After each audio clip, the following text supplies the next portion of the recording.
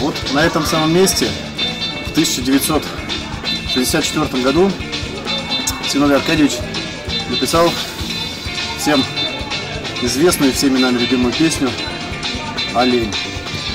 Гора Ахун, август 2016 года.